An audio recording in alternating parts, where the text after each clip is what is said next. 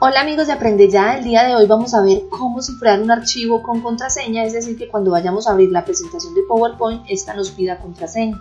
Esta es una opción de seguridad que la podemos encontrar al ir al área de archivo, clic en información, clic en proteger presentación, damos clic y vamos a cifrar con contraseña. Escribimos la contraseña, le damos a aceptar. Nuevamente repetimos la contraseña y le damos aceptar. De esta forma, nuestro archivo queda protegido por contraseña. Ahora, si deseamos quitarle la contraseña, la borramos de acá y le damos aceptar. Bueno amigos de Aprende Ya, eso es todo por hoy. No olviden suscribirse y darle me gusta. Recuerden compartirlo en las redes sociales con sus amigos.